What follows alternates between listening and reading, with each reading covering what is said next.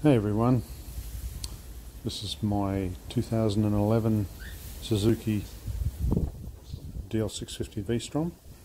I've had this for about two years now. Haven't had to do much to it at all. It's been really, really good. Uh, time has come though to look into the brakes. I've been noticing the pedals been getting lower and the uh, I've had to squeeze a bit further on the front brake handle, front brake lever, get it right. And you can see there the brake pads are starting to thin down. Not so bad on the front, but um, yeah, time's come. That's pretty hard to see what's going on on the front there, but I've got some new ones here. Cost me a small fortune. Add all those prices up. Where that way? And anyway, it is windy as today. So hopefully not too much wind noise going on. Apologies for what you do get. And um, alright, so I'll get into it and uh, I'll take you along for the ride. No pun intended. Right, let's try and battle the wind noise a bit here, but two front, two caliper bolts loose. Oops, sorry, shaky cam.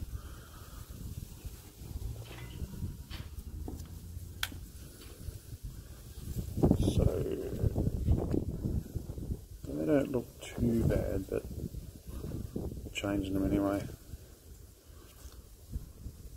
So, okay, looks like we've got to pull that little pin on that pivot there.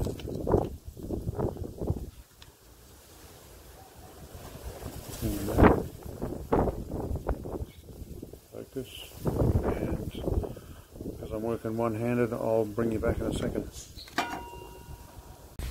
Right clips out. Pull that pivot pin. Oops. Well, that one came out nice and easy.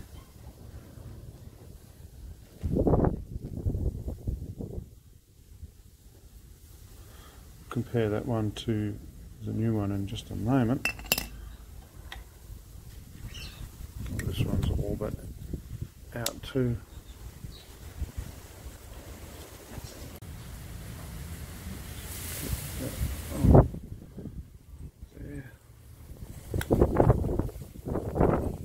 One-handed working.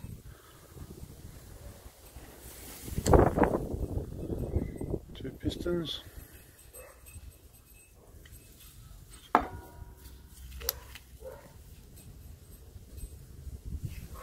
reasonable.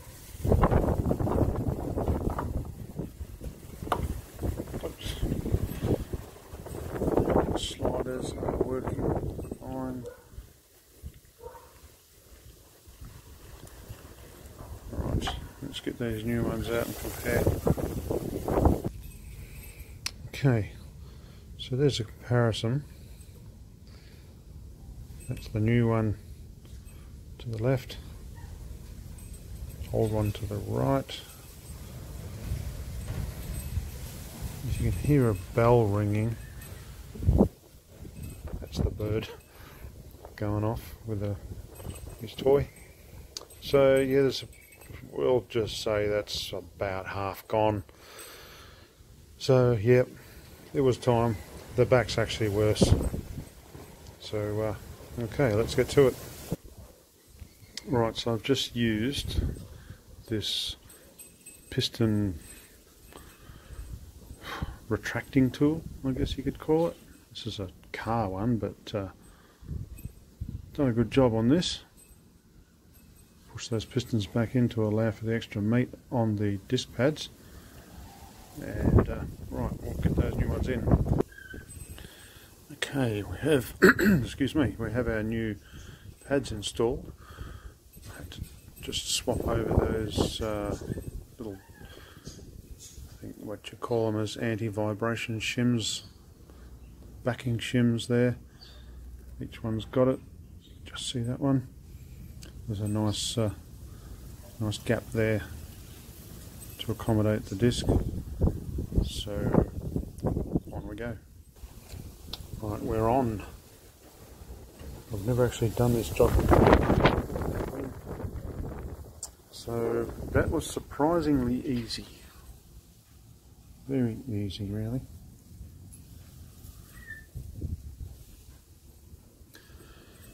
Even looks a bit blingy with a bit of gold there. Actually, gold bike. anyway, I'll uh, get on with the other side and then we'll get on to the back. Okay, so we're done on both sides on the front now and much better. It used to come a lot further in to do the same thing. So, okay, now onto the back. Okay, 14 mil here.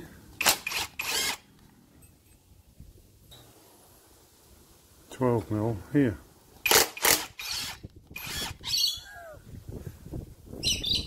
Someone likes the impact impact noise.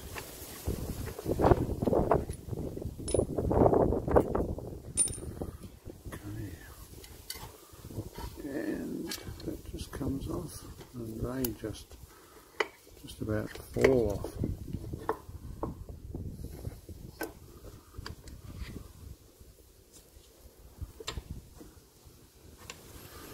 Okay, need two hands.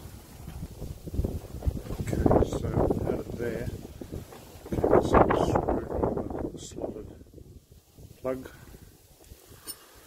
and in there is an Allen key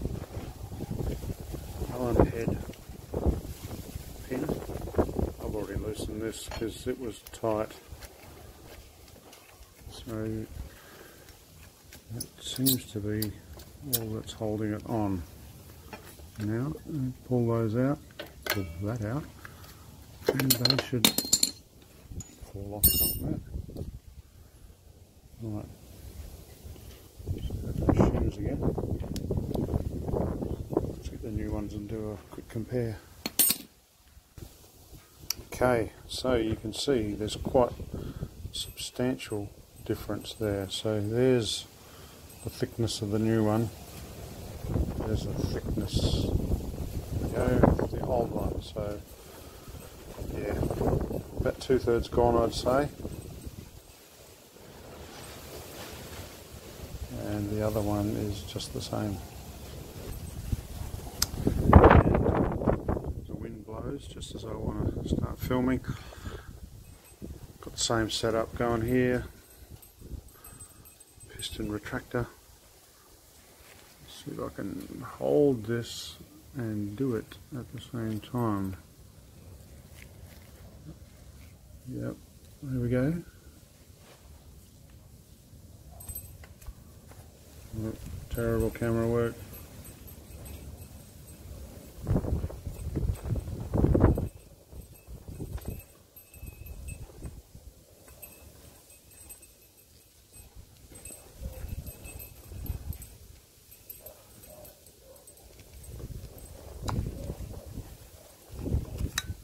Sorry about that. This one-handed stuff is hard to get used to, but you can get the idea. It's going in. Just for the record, the slider is nice and free.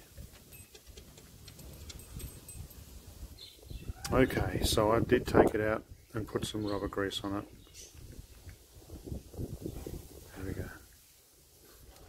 It was free, but I couldn't help myself. Okay, so we are all but set up there, ready to go back in.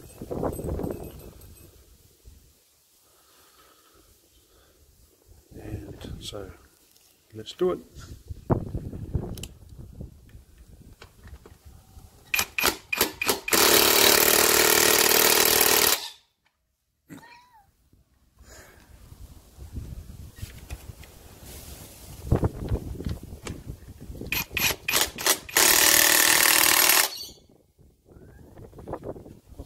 Don't like the impact driver. Protest from the gallery. So just a quick one. This is the grease I use. Doesn't mean it's the the only grease you can use or the best grease, but this does a good job.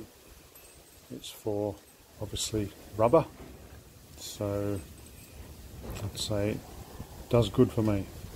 Does good. That's good grammar. Anyway, okay. So this is much better now. It doesn't go halfway down as it used to. Much, much better.